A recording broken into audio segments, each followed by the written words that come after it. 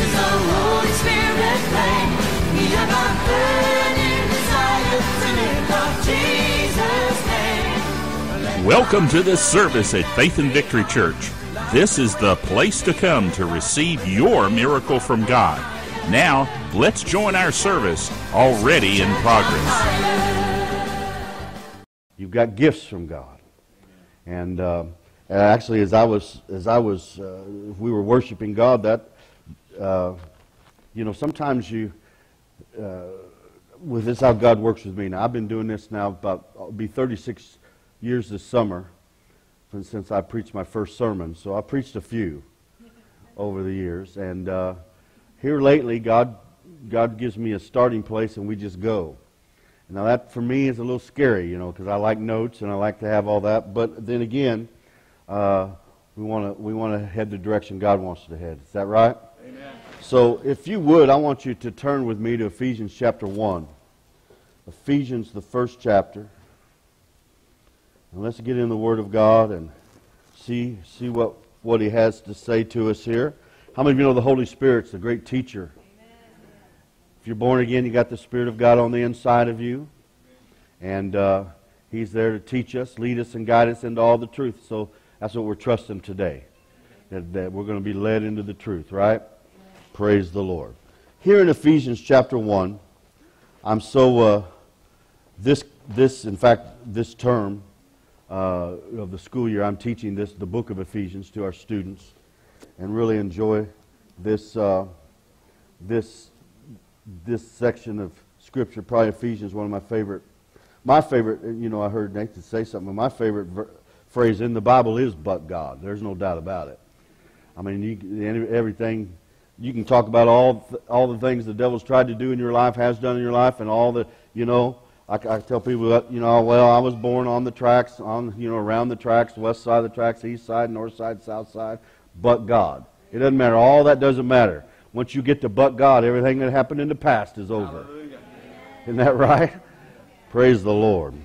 But God, you know, it, well, you know, uh, you know that runs in my family. But God, I got a new family now.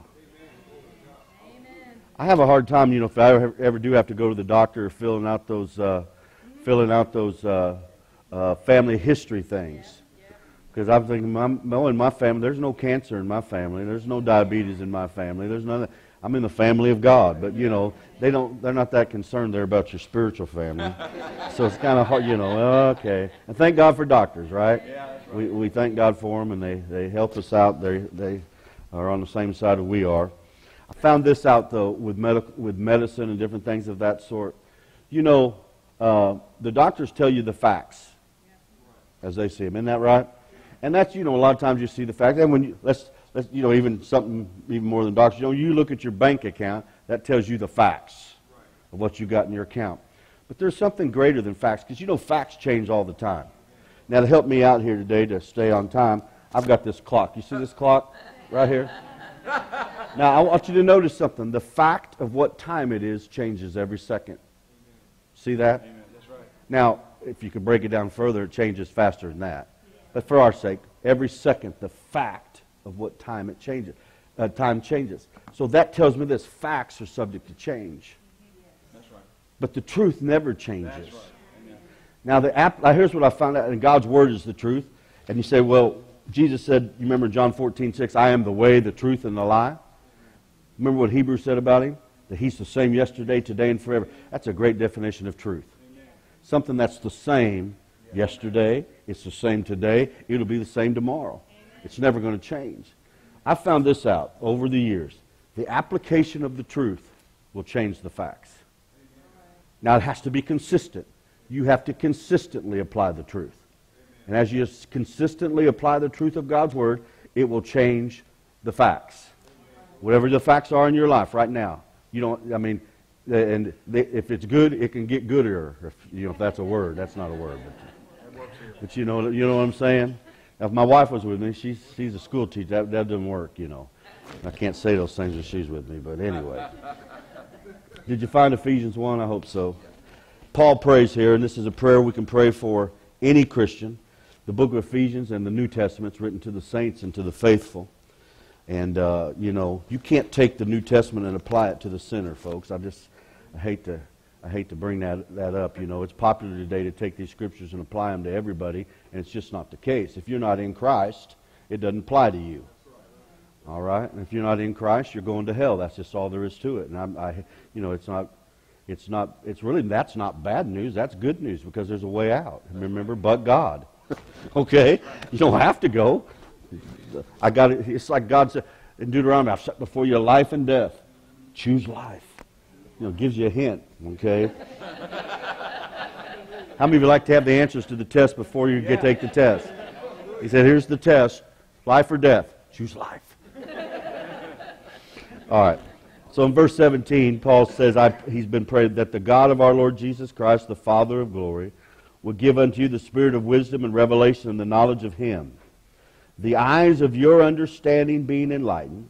Then there's three things here that he says he wants us to know by revelation, to know intimately, to know not just to be acquainted with, but to know. Now I've also got, I'm, I'm kind of double minded today. I've got my watch on and I've got that clock running. But this watch, I know how to set the time on it. You know, I know it to an extent. But you know, there's somebody that knows this watch. In other words, if you took this watch apart, Okay? How many of you, when you were a kid, you like to take things apart? But were you like me when you put them back together, you had leftover parts? Something happened. It's like, wait a minute. But why? You didn't know what you took apart. There's somebody that can take this apart, put it back together, and it works. If it's, if it's broken, they can fix it. They know the watch. And that's the way we're supposed to know these things. That we can take it apart, put it back together, and make it work. Well, the very first one, we're not going to cover, I, don't have time to, I just want to talk about one of them today. What is the hope of his calling? Now, Bible hope is not I wish. It's part, there's, part, there's a partial there, but Bible hope is confident expectation. Now, and it, it, it, it is the future. It is future. What we, and there's certain things concerning our redemption we're yet hoping for. We haven't, we're hoping for the resurrection of our body. We have faith that it's going to happen, but it's based on the promise of God. Now he says, What is the confident expectation of. Now notice what it says. The King James says it the right way, I believe. His calling. What is the confident expectation? In other words, what is God confidently expecting from the calling he's placed on your life? We're supposed to know that. To me, it's the saddest thing in the world for a Christian to get born again and not know what God wants them to do. I don't believe that's God's will. And in fact, Paul prayed. He said, I'm praying this for you all the time. Now, you know, we can take these prayers, we can pray them for one another, we can pray them for ourselves. What is the hope? The confident expectation. Now, Jeremiah 29 11, what's that say? For I know the thoughts I think towards you, saith the Lord. Not, not of evil, but of good. To give you, one translation says an expected end, but others say a future and a hope. So God has, has a confident expectation. Now, what's a calling? The calling of God is a divine invitation from God, or a divine summons, if you will, to participate in the kingdom of God. We're just not supposed to be in the kingdom, we're supposed to be part of it, an active part of it. Each and every one of us has a part. Now, look over here in Ephesians chapter 4. You and I. This, this whole thing works as you and I do our part. Now, we're all part of the body of Christ universally, but yet we're, God has put, placed us in the body of Christ and it has pleased Him, and that means we're, we should be part of a local body somewhere. And every local body is a little bit different than any other part because we're all different. You know, your body has no cell that's the same. They're all different. Of the billions of cells in a human body, every one of them is different, not one exact. And so we're, we're that way. Our, our, we're that way individually. We're that way as churches. But we all have a part to play. You know, if we could ever all get us all together, what a powerful group Christians would be. But right now, we're not there. I believe we're going to be there because Jesus prayed that we'd be one. But I want you to see verse 1, Ephesians 4. I, therefore, the prisoner of the Lord, beseech you. In other words, he, he said, I'm to give strong a desire here that you would walk worthy of the vocation wherewith you are called. Now, uh, the King James used the word vocation. It's actually the exact same word it could be translated, and some modern translations do, worthy of the calling wherewith you are called. With all lowliness of meekness, long suffering, forbearing one another in love, endeavoring to keep the unity of the Spirit in the bond of peace. Now listen, don't ever let your calling, don't ever let your calling be a, a point of strife. Now, how does it become a point of strife? Because verse, because you don't practice verse two, you're not humble. That's what he's talking about there. Some people, you know, bless their hearts. They spend all their time talking about who they are, and I'm this, and I'm that, you know. Well, I'm the dean of Rhema. Well, whoop-de-doo. You wouldn't, be, you wouldn't be the dean of anything if it wasn't for God. So let's just give him all the credit and all the glory, right? You understand what I'm saying? And let's, and let's work with one another. The endeavoring to keep, that means it's going to take action. It's going to take action. Now, why is that? Verse 4 There is one body, one spirit, even as you are called. Here again he says it, in one hope of your calling. I'm going to tell you right now, God does not have plan B for you. There is no plan B for your life with God. He has a plan, and if you're, if you're really ever going to be fulfilled, if you're ever going to do, uh, uh, be to that place to where you're satisfied with life, because we're supposed to live a long life and be satisfied, you're going to have to be in God's plan. He has a purpose. Now, here's the thing about God God knows more than we do. Aren't you glad? You know.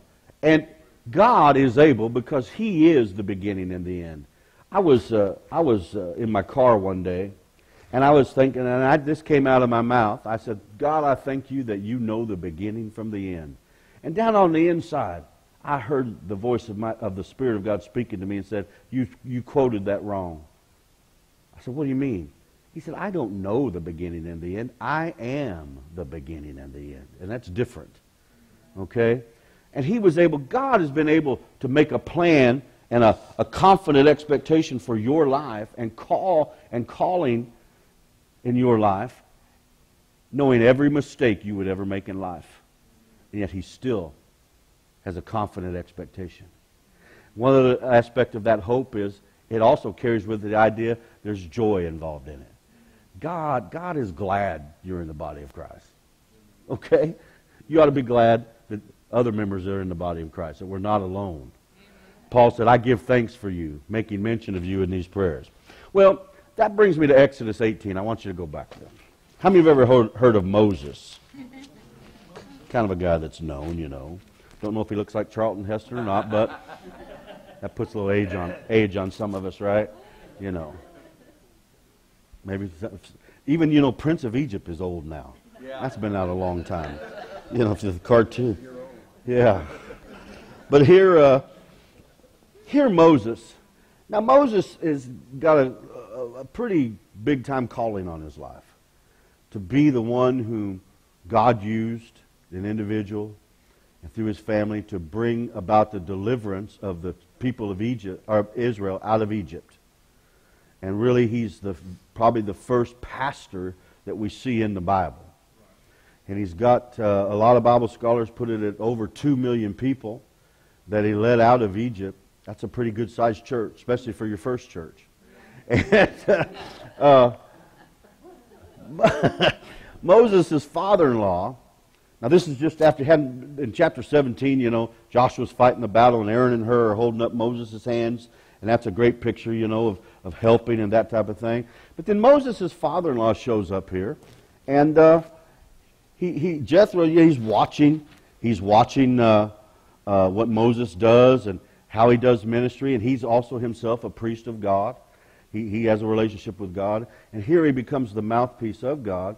And I want to pick up in verse 13 of Exodus 18 because we're going to bring this about. You said, well, I'm not Moses, but we're going to bring about uh, an idea here for you this morning to get you started on a path towards something that I think is going to be a great blessing in your life and will be a great blessing in this church.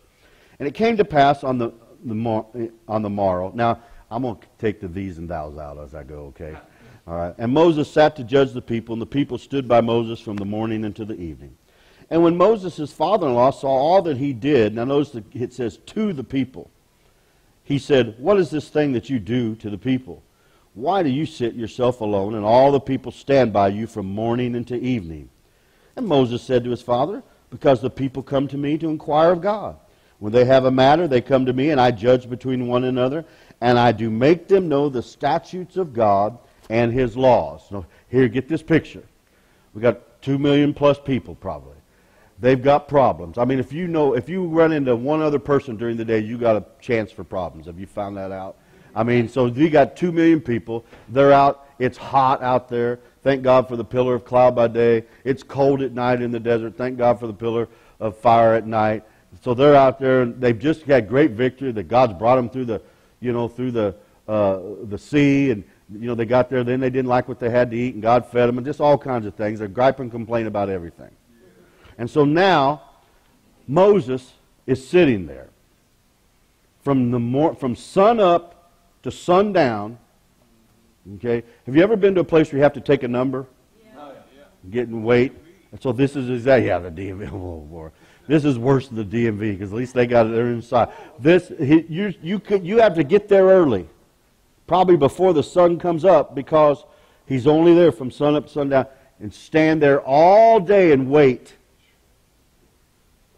Now, what Moses is doing, he's, the, he's telling people what God's Word says. I mean, he's, he's the mouthpiece of God. He's sharing God's Word with them. But Jethro says, You're doing it to the people.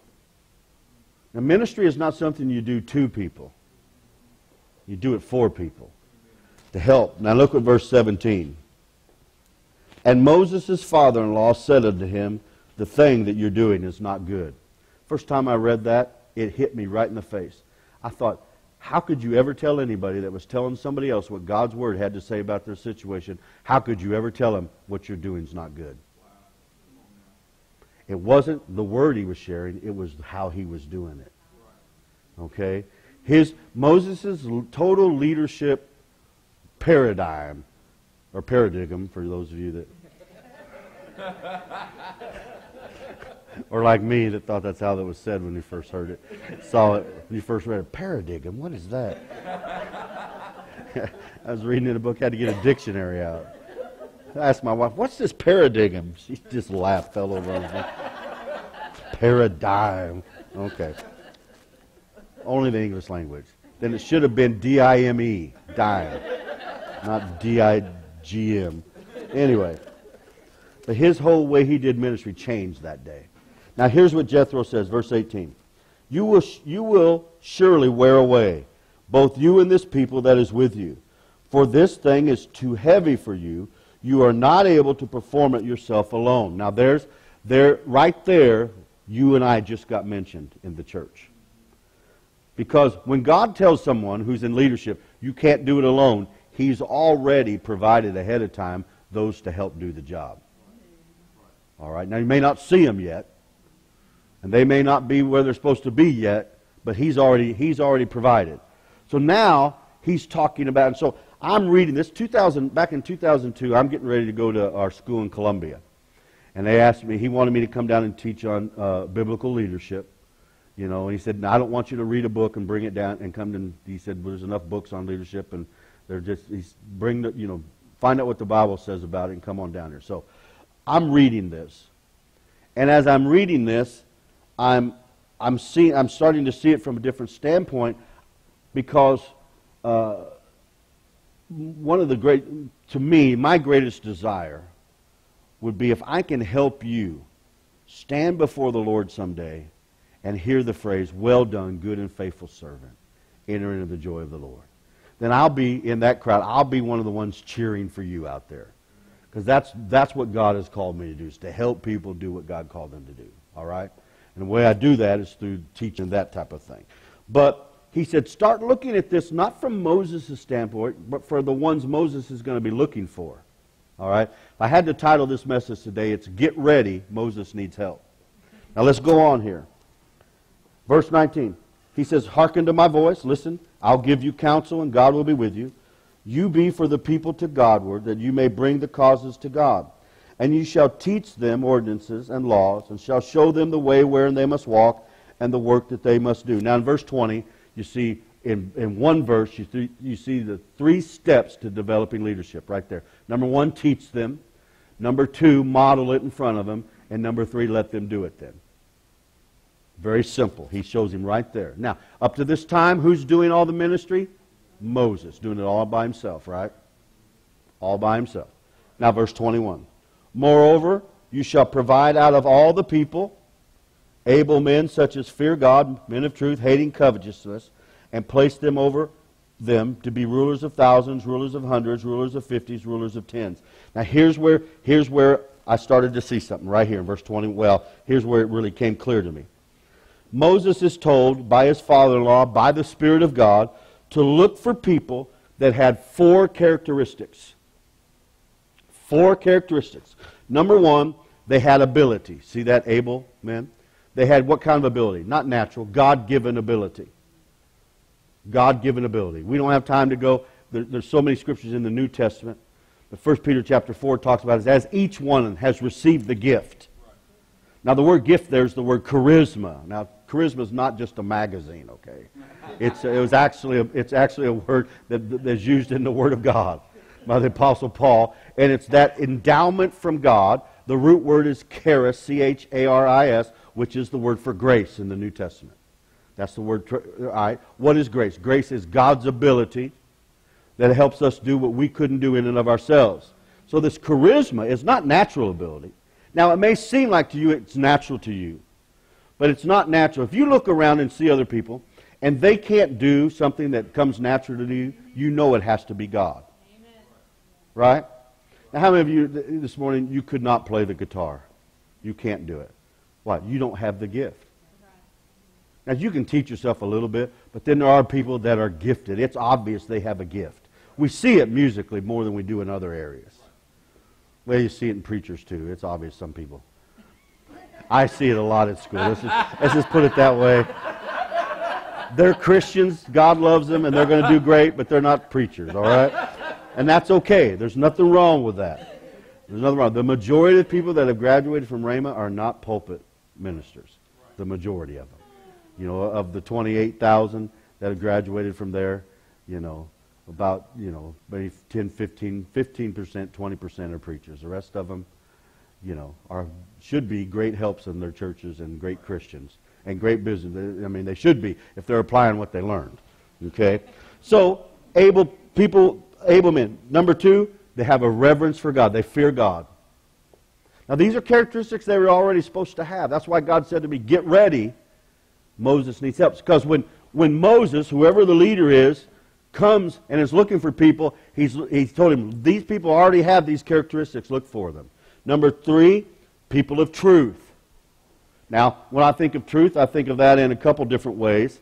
Number one, they have integrity. They're, they're true to their word. And number two, they're people of the truth, which is the word. They have the word. You say, well, you know, pastor's just looking for somebody to help park cars. You need to be full of the word to park cars at a local church. I'm going to tell you right now. Because Christians will run you over in Jesus' name.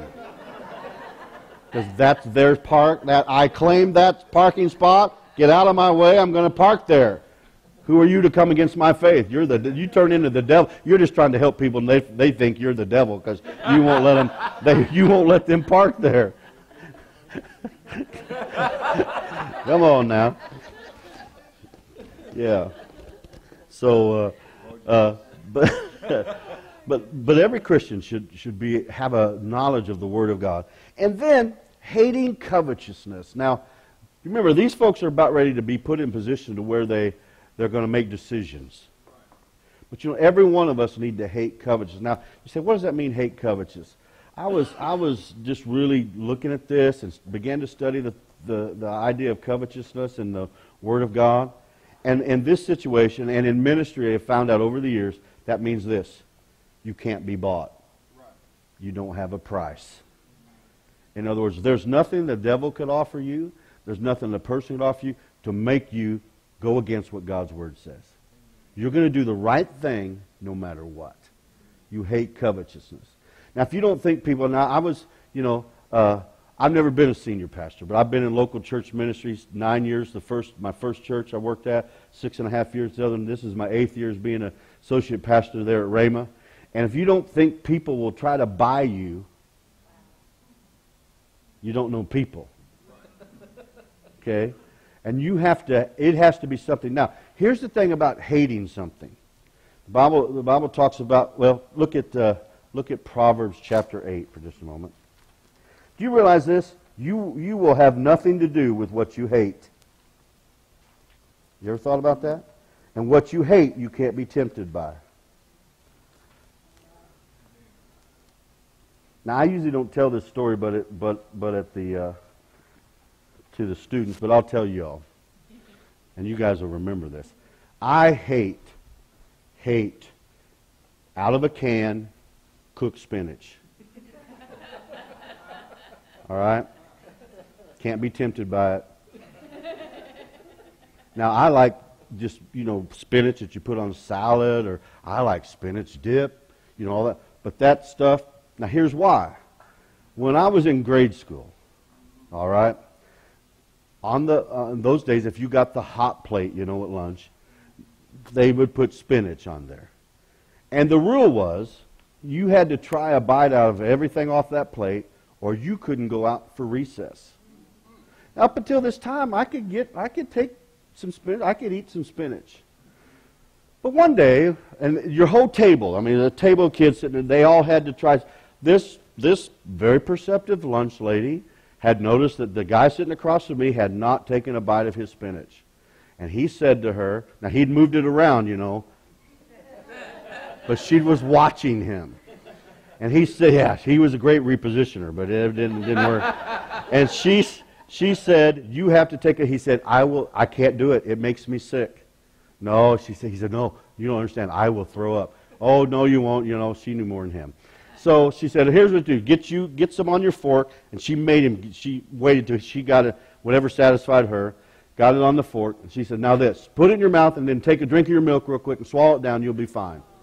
And we're all like, "Hurry up and eat! We want to go outside for recess." Well, did I mention he had chocolate milk that day? It, so he takes the spinach, puts it in his mouth, drinks the chocolate milk, and so now we're not so concerned about recess. We want to know what's going to happen here. and so, of course, he starts. I'm sitting right across, and he starts. Mm, mm, you know, he starts. Then out came the spinach and the chocolate milk. And I, I learned a biology lesson that day, an anatomy lesson that day. I didn't know that your mouth and the, that that passage there is connected to the nasal passage here. Because out of his nose was dangling a little piece of spinach dripping with chocolate milk. I hate. You can't tempt me with canned spinach. I will not know. All right? Now, Proverbs chapter 8. You guys, you guys remember that story, right? You never forgot it, have you? As soon as I started, I could see him. Oh, I love to tell that right before lunch at school. Uh, all right, verse 13, Proverbs 8. The fear of the Lord is to hate evil. See, notice here reverencing God here. To reverence God.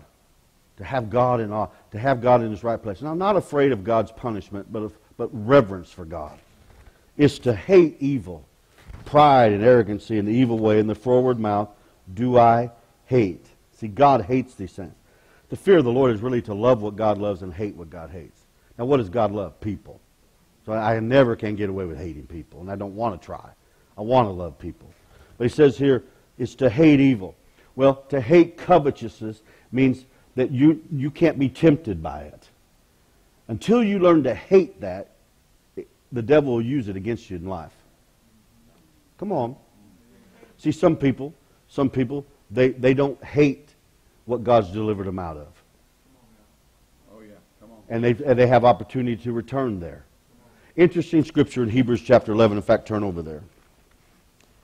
Since you brought it up, you better, we better turn over there and look at it. Hebrews chapter 11. Remember, God told, what did God tell Abram? Get away from your family, get away from your country, and go to a land that I'm going to show you, right?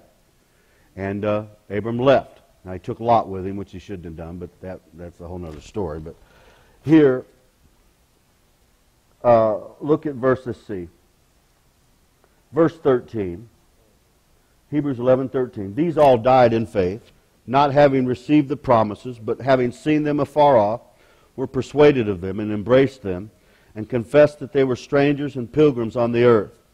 For they that say such things declare plainly that they seek a country. Now look at verse 15. For truly, if they had been mindful of that country from whence they came out. See, I don't even think about spinach. It never crosses my mind unless I'm going to tell that story. I don't even think about it. Why? I mean, I don't even think about spinach out of a can. Don't even, doesn't, no. But see, what you don't hate, you, you'll think on. And he says, if they had been mindful of that country they came out of, they, have, they might have had opportunity to have returned. You see, if God's delivered you from alcohol, you can't think about alcohol. You start thinking about alcohol, you'll have opportunity to go back to that life and alcohol. And I've seen it. I've seen ministers. God, I've seen them get involved in stuff. You say, what in the world happened? They, they, didn't, they didn't hate it. And they, they started entertaining it in your mind, and they had opportunity to return to that. Now, just because you think about something doesn't mean you sin, but you got to know what to do with your thought life, right? you got to take authority over that. Hold it up to what the Word of God says.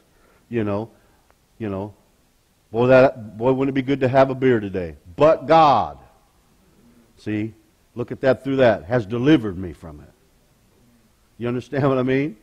But see, the more you play with stuff like that, the the you're going to get yourself in a position you don't want to be. So we can all work on those things, those four areas.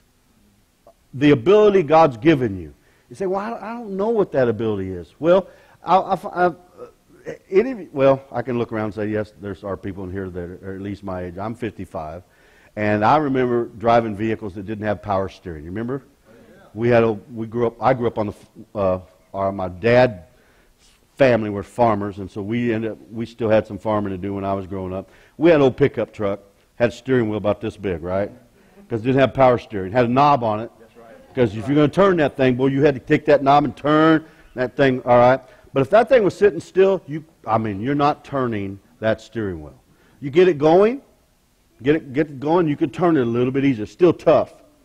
I'm a, you say, well, I don't know what God's called. I don't know what the gifts God. Well, let me, let me tell you this: get involved, do something, Amen.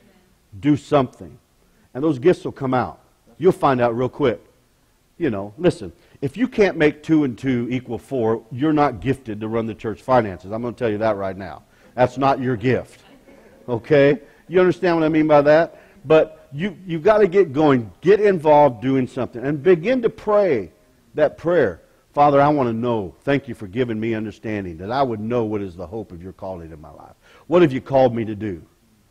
Someone described the calling as God's avenue for the manifestation of your giftedness.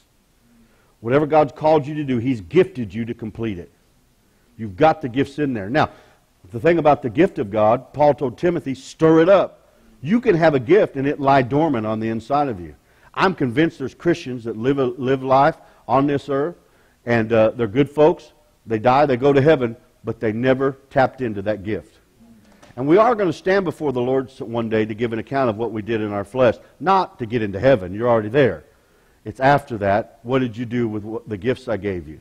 So, ability, develop your abilities, whatever they are. If you are, if you are, uh, you know, if you're doing design, learn learn it better. If you're doing, you know, whatever it is. Now, you don't have to be gifted or called to help stack chairs. Just let me bring that out because I just, I've had, we were moving tables one time, and chairs at a, you know, at a, a church I was associate pastor. That we had to stack all the chairs had about 250 of them set up. We're, we're just stacking chairs. Had a guy tell me, that's not my gifting, brother. The stack chairs? Oh, no, I'm not called to stack chairs. And I told him, he was on the worship team. I said, you want to be called to be on, because I was in charge, I was the leader of the worship team. I said, you want to, you want to be able, you want to be called to sing with the worship team? Oh, yes, brother. I said, then you go, you better stack some chairs.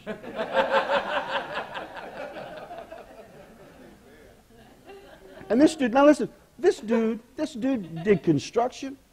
He painted houses, did all kinds of, he was able. He says, well, I wasn't called, I have not called to do that. Come on now. Yeah, yeah. I'm to give you, I'll call you for sure. Don't call us, we'll call you, you know. but you know, there are, there's things that you have to be, God's going to gift you to do. Well, how does that develop? Well, stir it up. Stir it up. Get active doing something. Pray over it. Pray over it. And you know? The thing about that, other people will see. Especially leaders will see, okay, I can see they've got something here. Okay? And then you can start that process. Reverence God. Be a person of the Word and be a person of your Word. Okay? When we were, we were associate pastors at one church, and my wife was over the children's department because that's her area. She's got a master's in uh, uh, education. She was over our children's department. We had service Sunday morning, Sunday night, Wednesday night. She went 18 months. 18 months. That's a year and a half, folks. Where every service someone called in right then and said, I can't be there. I'm not coming. Every service for 18 months. Now, see, you got try, you tried to you, try to teach people and help them develop out of that, but it was a, in that church that was something that was common. People just they, they would not be faithful to their commitment. I'm not talking about, hey, I'm going to be gone next week. I'm not talking about that. I'm talking about either didn't show up when they were scheduled or called at the last minute and said, I can't come. Okay? That's not right. You see, we ought not have that testimony as Christians at all. And then hating covetousness. Hating covetousness. I've had people try to sway my, you know, sway my decisions. They've taken us out to eat. They've done this. They've done that. They've, you know, give you little cards with money in it, which is all, you know, praise the Lord. But I'm just saying, none of it. You cannot let anything. All right? It's not, there's nothing wrong with doing nice stuff for people. So if we're to hate covetous, that means also that I, I hate bribes. I'm not going to try to bribe anybody to do anything. If I'm going to hate it from this standpoint, then I've got to look at it from that standpoint too. Then what happened was, and, that, and we're not going back there, but he they, they found these people, they put them in place. And in Deuteronomy chapter 1, Moses recounts it. He said, I came to you and told you I can't do this anymore by myself. Like, you know, he got it. Jethro told him. he doesn't mention his father in law in Deuteronomy 1. He says, I told, look out, look out and find these people. You found them, you brought them to me, and it's worked. You, you all know and testify how that's worked out. It's worked out good for us all. It's helped us all. We've come to this place. Now, Jethro told him, if you don't do it, you're going to wear out and you're going to wear the people out. All right? So that's what, you know, if you, if, you know, as you get in charge in different places like that, it, that's a great business thing to learn. It's a great thing to learn. It's a great leadership principle from that standpoint. But let's look at it from our standpoint. Let's get ready. No one has to, you know, no one, well, no one recognizes me yet. That doesn't matter. Still get ready. Well, I, they don't want me, you know, I can't, I, I don't really find a place that I can fit. Get ready. Doesn't matter. You get ready. All right? The devil wants you to become complacent. He wants you to be passive. Don't do anything. Just sit there, you know, and whatever, you know, and sing with Doris Day, que sera, sera. Whatever will be, will be. You know, that's not biblical, folks. Get busy doing something. What? what? Work on yourself. Work on yourself. Now, I found this out. The more I work on me, the less I am concerned about others as far as, well, how come they're not doing this, you know? Because I'm busy with me. All right? Get ready. Moses needs help. Okay? You see, you guys, I'm gonna, as a church, you want to move out of this out of this room and move over there into that gymnasium and fill that one up, and then finally, you don't have to do whatever. Maybe they just city just gives you this whole place. Who knows? you know, but if you want to get there, then it's going to be you. It's not going to be the pastor because Moses couldn't do it by himself alone. And, that, and your pastor, they can't do it by themselves alone. All right? We all have to do it together. We all have to do it together. And uh, Pastor Hagin says all the time, I can't do. I can't do this all by myself. I have to have help. And you have to have good, qualified help. So that, how do we do that? Well, we take the gifts God's given us, we work them, we develop them, we study. You know, there's a lot of times I'll, I, I've, I've got online. I was never a dean of a school before. I got online. I studied what other people wrote about it. I looked at it, trying to, and I asked a lot of questions and did that. You know, do you make mistakes? Yes, you make mistakes, but you learn from them and you go on. I found this out. I don't ever, if you ever fall down, don't ever stay down. Just get back up. Because God, God's waiting. He's got the hand to hold you up. When Peter started to sink, Jesus reached out and grabbed him. He didn't say, Well, Peter, You know, and Peter probably could have swam, you know, a little bit, but he didn't. He didn't yell at Peter for sinking any, did he?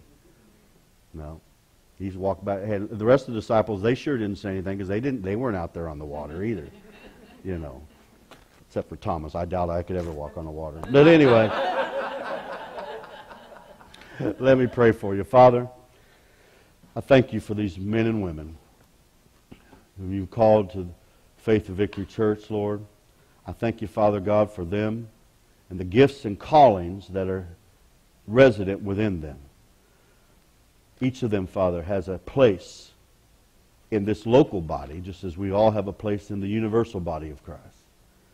So, Father, I ask that you would open the eyes of their understanding, that they would know what is that hope. What, what's the confident expectation with joy and gladness that you have concerning what you've called them to do. And that the gifts you've given them, you develop them by your Spirit. And Father, we thank you that in meekness and lowliness and humbleness, we'll, we'll all pursue what you've called us to do.